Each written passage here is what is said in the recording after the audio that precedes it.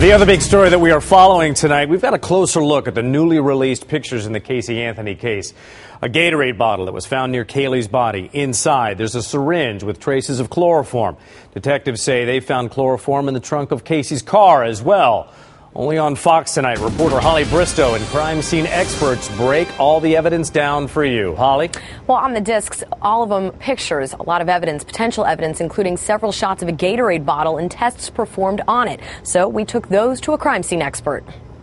A clear Gatorade bottle found by crime scene investigators close to Caylee Anthony's remains in the woods along Suburban Drive. But the liquid inside, clearly not Gatorade. Instead, a thick, milky substance. Also inside, a syringe filled with liquid and two cardboard paper towel rolls. The FBI took these photos and tested the liquid inside.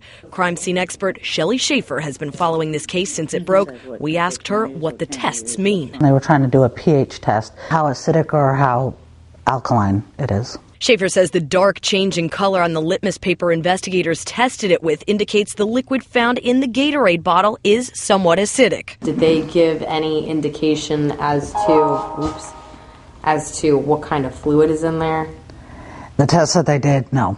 Previously released discovery has showed levels of chloroform in the Gatorade bottle. Remember, investigators say there were unusually high levels of chloroform found in Casey Anthony's trunk. According to these tests and according to other scientific tests, the chloroform in the in the Gatorade bottle would not be enough to to kill someone. But Shaffer says still there's no smoking gun. Unless they fingerprint the bottle, found fingerprints, found someone's DNA on the syringe or on liquid that was inside, found out what that was actually.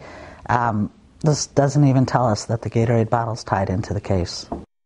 Now, we're still waiting for the state attorney's office to release the FBI's official test results on the Gatorade bottle and the syringe. Tonight, we're also learning more about tests done on the trunk of Casey Anthony's car, as well as duct tape found on Caylee's body. I'll share more on what we've learned coming up tonight at 6. Today, we're getting our first look at potential new evidence in the murder case against Casey Anthony. The carpeting from the truck uh, trunk of her car was ripped out, and photographs show investigators testing it to see what may be hidden in the fibers. Fox 35's Holly Bristow here, live with the latest information. Holly? Well, Kale, today's discovery came in the form of these three DVDs. On them, hundreds of pictures of potential evidence, even some pictures of the process the FBI is going through to test Casey's car, Caylee's car seat, and some duct tape to see if anything ties Casey to her daughter's murder. We've seen the outside of Casey Anthony's white Pontiac. Now we're seeing what investigators ripped out of the inside.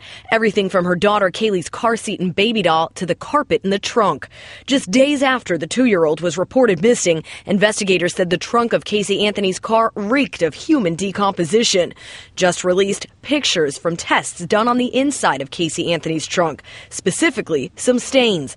Crime scene expert Shelley Shaffer explains the blue and red lights seen in the photos. They were using an alternate alternate light source, which will pick up any any body fluids that are left in the trunk of the car or on the child's car seat. It can detect uh, blood that has been cleaned up or dried, um, saliva, perspiration, basically any type of body fluid. Investigators snapped shots of several spots in the trunk, even a stain on little Caylee's doll found in the car.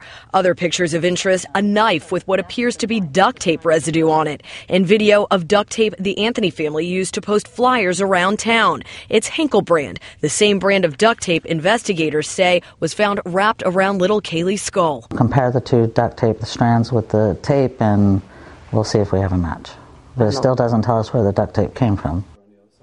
Now, today's poten- uh, potential evidence also includes images of a Gatorade bottle and a syringe found inside it. It was found not far from Caylee Anthony's remains, and investigators did tests on these things to see if they are related to Caylee's murder. Still no evidence either way. On these three discs, still no smoking gun. Mm.